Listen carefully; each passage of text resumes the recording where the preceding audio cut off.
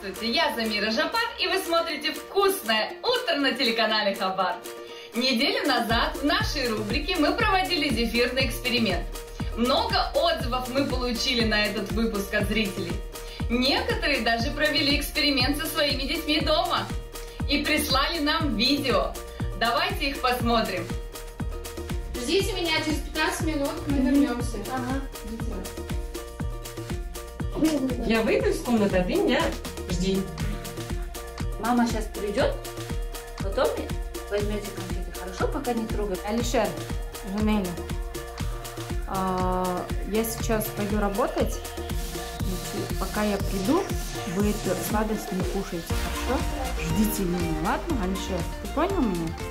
У нас сейчас будет маленький такой эксперимент. Если ты продержишься 15 минут и не съешь вот эти конфеты, то ты получишь две сразу вот эти тарелки. И все это будет твое. Но ты должен 15 минут ничего не кушать, ничего не трогать и просто сидеть и смотреть. Окей? Все, давай, время пошло. Пожалуй, самое веселое в этом тесте – это наблюдать за детьми, которые так хотят съесть вкусняшку, но упорно ждут взрослых. А ведь, как написали мои подписчики в комментариях, даже взрослому иногда очень сложно отказаться от сиюминутного удовольствия. Исследование зефирного эксперимента доказывает, что если вы хотите добиться успеха в чем-то, нужно быть дисциплинированным и действовать, а не отвлекаться на развлечения.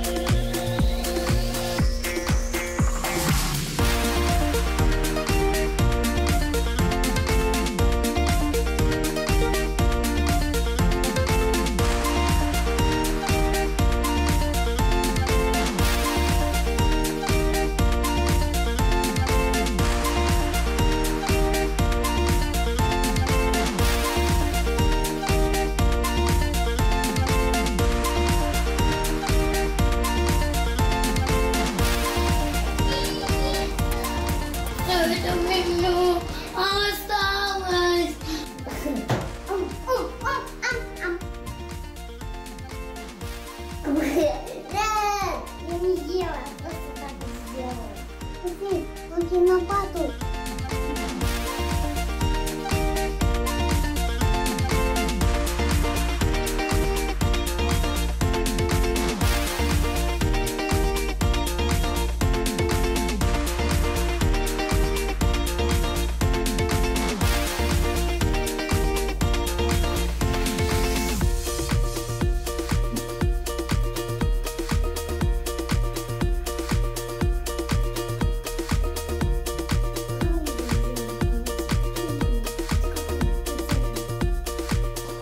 Ты что-то ел?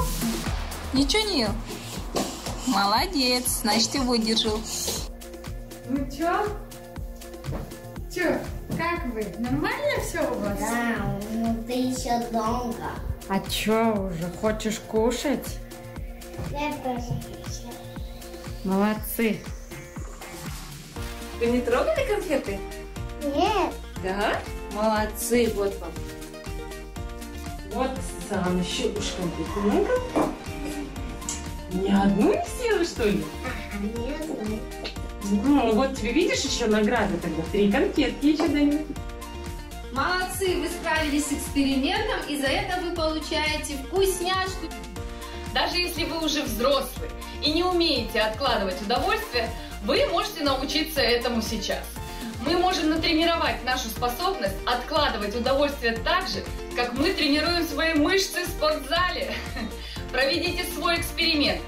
Вы обещаете себе что-то маленькое, а потом выполняете обещанное снова и снова, пока ваш мозг не привыкнет. Ведь если это могут пятилетние дети, то и вы сможете. С вами была Замира Жапар. До встречи на Хабаре!